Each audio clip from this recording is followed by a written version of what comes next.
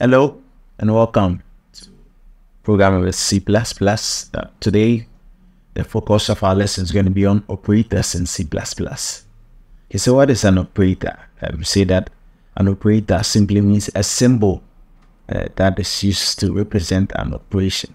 So in C++, there are a lot of operators. So um, let's look at um, the first category of operators. You have the arithmetic operators. Uh, which basically includes um, addition, um, subtraction, uh, multiplication, division, and then modulus. So um, you could see here um, how you'd represent this operations in C++.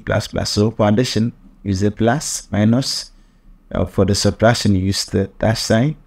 And then multiplication, use the star. Division, use the backslash. And then modulus, use the percentage sign.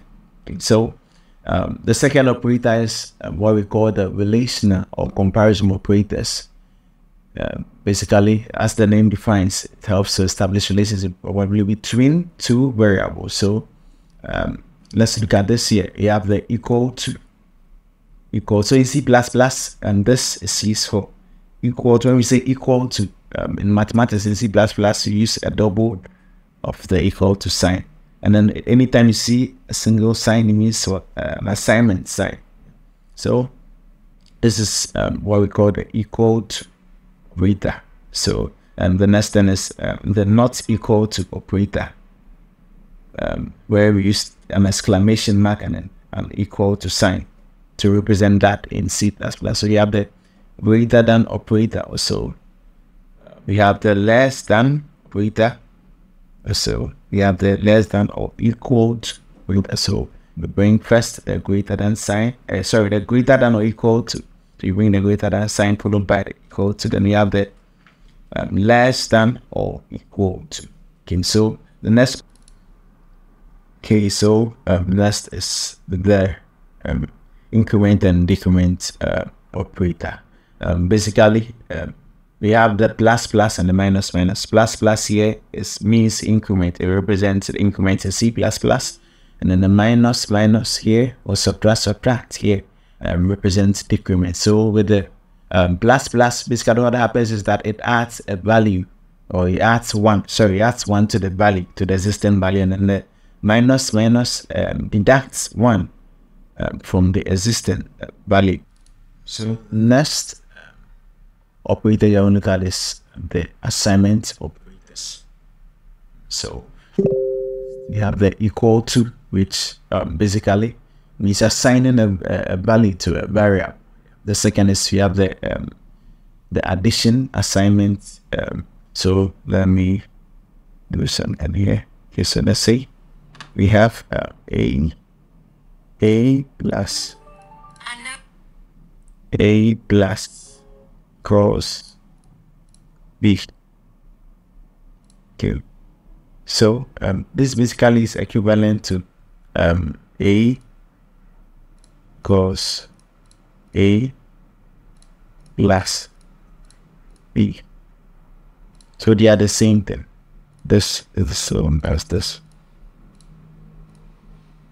So they are the same thing. So basically what happens is that um, it adds the value of B to A. So that's what this means. This operator element, it adds the value of B to A. This, I'm going to do this. Alright, so we have the next operator as the subtraction assignment. So an example could be A minus cos so um, what happens here is that um, this is actually subtracting the value of b from a. So this is the same as a equals a minus b. So the same thing. And then we have, okay, we have uh, the multiplication assignment, which would also have it as a star, of course, e the same as multiplying a by b. So it's the same as a equals well, a equals let me write for a equals a times B. So they are the same thing. Yeah.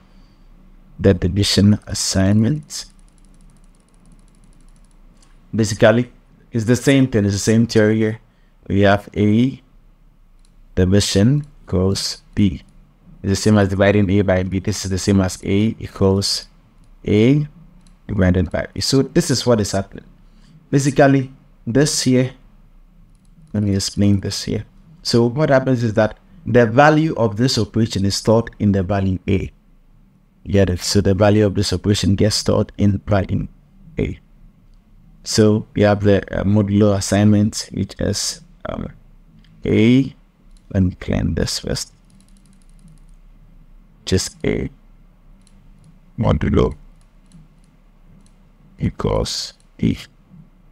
Because what, what is happening is that it's, uh, uh, do you see, um, it performs the modulo operation on A and B and stores the value in A. And um, the bitwise and assignment. Thank you. Yes. Just let's look at that. Yeah. So you have next the bitwise and assignment. Basically, what happens here is that it performs a, bitwise operation, a, bitwise and operation. So we have uh, example could be A bitwise something like. When do I need to go? Okay, let me let me do it again. Like this. That is the bitwise. So what do you see Yeah. So SA equals B basically what happens is that it performs the bitwise, this bitwise operation. This one. It performs bitwise operation on A and B and stores the value in A. So let's look at um, the bitwise or operation. So basically saying here, so A or equals B. What happens here is that this is the same as A. So i uh, yeah. So A equals a. Yeah so this is what this so it actually performs a bitwise or operation and then stores the value in a. Then so the next is uh, the exclusive or basically that's the same performs bitwise operation. A let's see sorry let me get this right so the base went uphill. Just gonna see. Yeah. This is the same as A goes A exclusive or B. So basically or operation and storing the value in A. So we have the left shift assignment. So uh, this is basically uh, the yeah this is how this the signer represents the net with assignment. So basically what is happening is that uh, let me give a simple example here. We'll be going to the practical session very soon. So say A is done, is done, B. This is the same as A because A less than less than A. So this basically performs a left bitwise shift on A by B positions and stores the results in A. So uh, the same goes for the right um, shift assignment. So you have A, then, goes It is kind of a quick cutter, quick cutter. This is the same as A. It goes A and we got an, So this performs a, a right bitwise shift on A by B positions and then stores the results in uh, the variable A.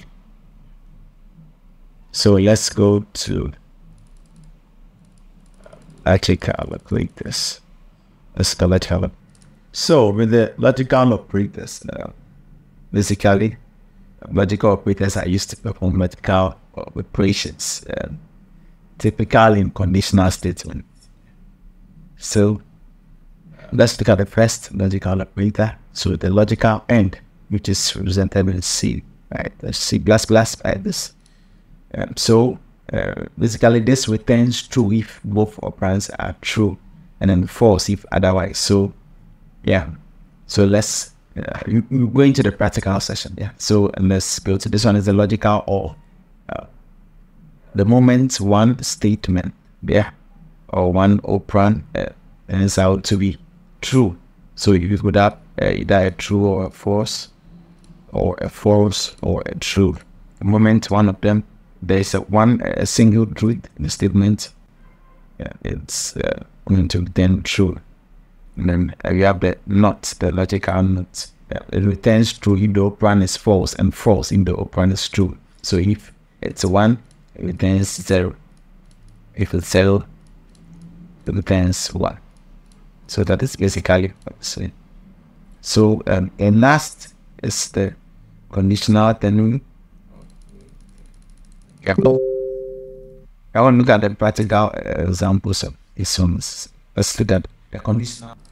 And so the conditional operators, uh, also known as uh, ternary operators in C++, are used to evaluate the condition and return one of two values based on uh, the results of the condition. So we are going to actually look at the practical application of these things.